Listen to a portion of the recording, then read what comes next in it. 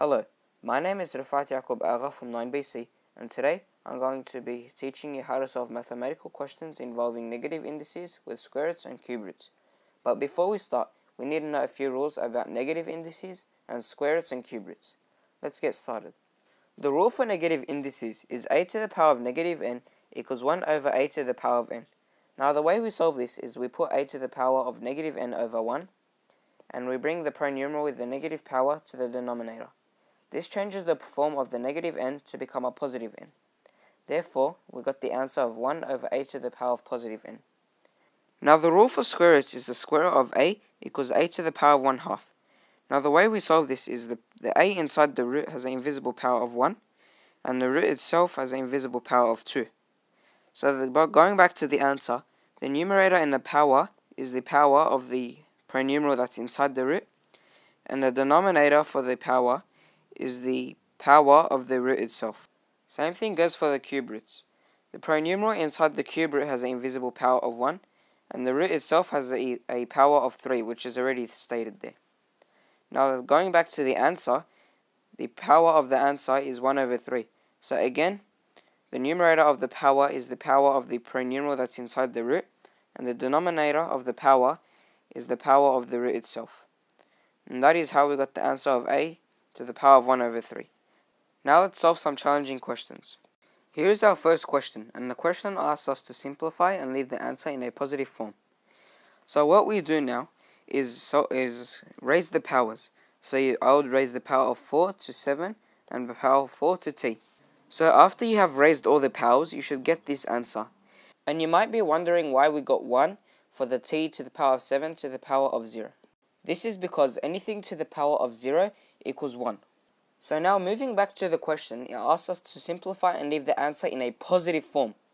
So that means we have to change the t to the power of negative 11 into a positive indice. Now to do that, we just move it to the numerator. So after making t to the power of negative 11 a positive indice, you should get the answer of this. Now what you do, you have to solve the numerator. So after you have solved the numerator, you should get the answer of cube root 2401 t to the power of 27 over 7. So if you're wondering how I got t to the power of 27, it's all about the first index law, which states that when multiplying terms with the same base, you add the powers. So t to the power of 16 and t to the power of 11 both have the same base. So we just have to add the powers. So 16 plus 11 equals to 27. Now all you have to do is type on your calculator cube root 2401 over 7 and your answer should be 7. And now for the t to the power of 27, all you have to do is cube root 27, which would be 9. So your final answer should be 7 to t to the power of 9. Now going back to the question, it asks us to simplify and leave the answer in positive form. We have simplified it and kept the answer in a positive form. This means we have solved the question correctly, and now let's move on to the second question. Here we are with question 2, and again question 2 asks us to simplify and leave the answer in a positive form. So to make things easier, I'm going to split the question up into two sections, and do this part first, and then this part. So this is section 1, and this is going to be section 2. So let's get started with section 1.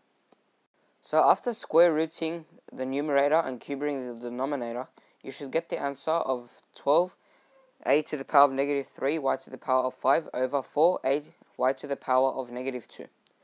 So now, going back to the question, it asks us to leave the answer in a positive form. So any negative pronumerals, we move down to the bottom. So a to the power of negative 3 needs to go to the bottom, and y to the power of negative 2 needs to go up. After making the negative indices positive, this should be your answer. Now what you have to do is simplify the numerator and simplify the denominator. So after simplifying section 1, this should be your answer. Now let's move on to section 2. So the first thing I need to do for section 2 is raise the power of negative 3 to the numerator and the denominator. So after raising the power of negative 3 to the whole bracket, you should get this answer. Now, recapping the question, it asks us to leave the answer in a positive form. So all the negatives we have to move to the bottom from the numerator, and all the negatives from the denominator we move to the top. So 4 to the power of negative 3 goes to the bottom, and a to the power of negative 3 goes to the bottom. 3 to the power of negative 3 goes up, y to the power of negative 9 goes up. So after making all the negative indices a positive indice, now all you have to do is solve the numerator and solve the denominator, so simplify it. So after simplifying this part, you should get this answer. Now that's the simplest form, so what we have to do now is add both of these parts together and solve the question. So now all we have to do is times the numerators and times the denominators. So your answer should equal to 3 times 27 is 81.